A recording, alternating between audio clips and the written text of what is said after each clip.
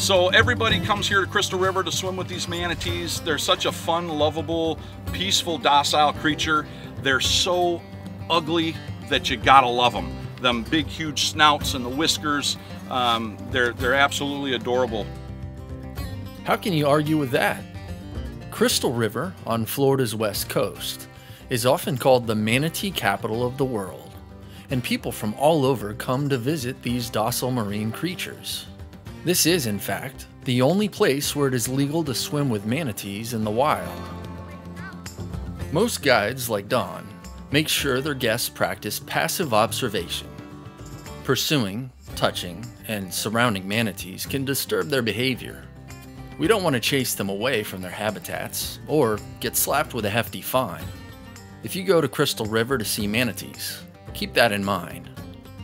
So, what exactly is a manatee? Until recently, this docile mammal was mythologized and misunderstood. Sirenians, often called sea cows, are aquatic mammals distantly related to elephants. There are two subspecies of the West Indian manatee the Florida manatee and the more widely distributed Antillean manatee. How about some Florida manatee facts? This species can grow to over 9 feet long and tip the scales at more than a thousand pounds. Manatees have some interesting adaptations for a life aquatic densely mineralized rib bones act as ballast, or weights, allowing the animals to sink to the bottom while resting or feeding. Also, they have elongated lungs and specially designed diaphragms. Think of these features as buoyancy control devices, like what scuba divers wear. Super handy for a marine mammal. The only strong social bond is between the mother and her baby. If you listen closely, Sometimes you can hear the calf's chirping vocalizations. So cute. Mothers typically give birth to a single calf, and on very rare occasions, twins. Manatee calves are dependent on their mothers for two years. And in that time, they learn everything from their mothers, where to find food, where to find warm water, those migration routes, they nurse from them in that time. And it's critical for the manatees to have that exposure to be able to go off after they reach a subadult age and be productive animals. Calves nurse from nipples located near the mother's armpits. Weird, but hey, it seems to work for them. Manatees are herbivores, they can consume as much as 10% of their body weight in veggies each day, grazing and browsing for up to 8 hours. They are primarily found in the warm coastal waters of Florida, and seagrass is their favorite food. Their teeth wear down quickly since they spend so much time munching. Fortunately, they have what are called marching molars, which constantly replace themselves over time. This is a feature shared with their distant relatives, the elephants. Many of the waters they navigate can be quite turbid. Their beady little eyes aren't very perceptive, but nerve endings in the follicles of the wiry hairs distributed all over their bodies allow them to feel their way around quite effectively. Manatees have no natural predators, emphasis on natural, but they face many threats. So manatees were probably always hunted by the original peoples, and they have found evidence of you know manatee bones and middens and things like that.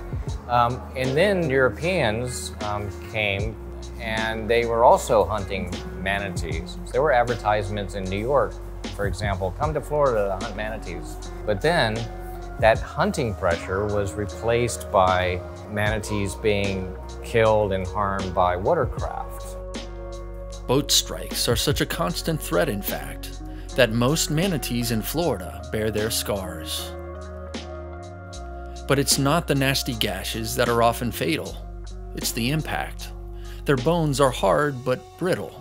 Broken backs and ribs are the real killers. And then there's habitat loss due to human development and pollution. Uh, manatees have no natural predators, but they rely on healthy seagrass meadows and shoreline vegetation for their nutritional needs. But these food sources are disappearing. Manatees are a tropical species and are very sensitive to cold weather.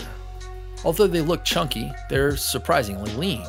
They do not have a substantial insulating layer of blubber like whales and seals, and cannot survive sustained temperatures below 68 degrees Fahrenheit.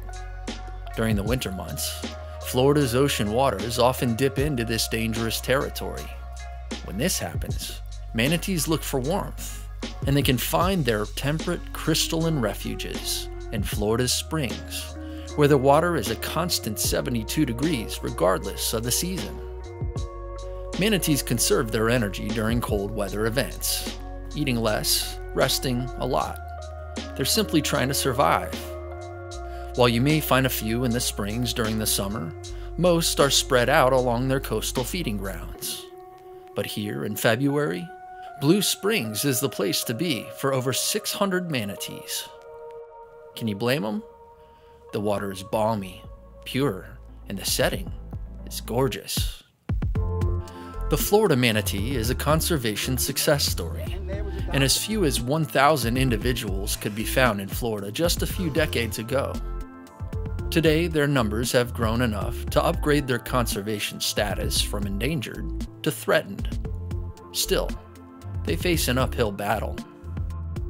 So manatees are a pretty rare animal. We have around 6,000 of them here in Florida and last year alone, unfortunately, we lost over 1,100 manatees, which is a really high number if you're thinking about 6,000 at first, that may sound a lot, but manatees don't reproduce very quickly. They usually have one calf at a time, take care of that calf for about two years, so it's a very, very slow reproduction rate. Imagine that. As much as 20% of the total population of Florida manatees perished in a single year. Referred to as an unusual mortality event, or UME for short. Most of these deaths were attributed to starvation in coastal habitats where seagrass, their main food source, has been disappearing.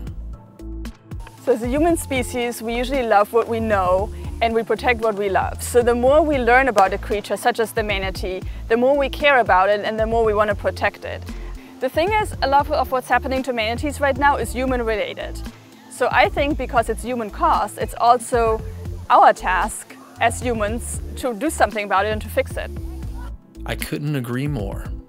And in the case of the Florida manatee, as well as countless other marine creatures, saving the animals means preserving their habitats.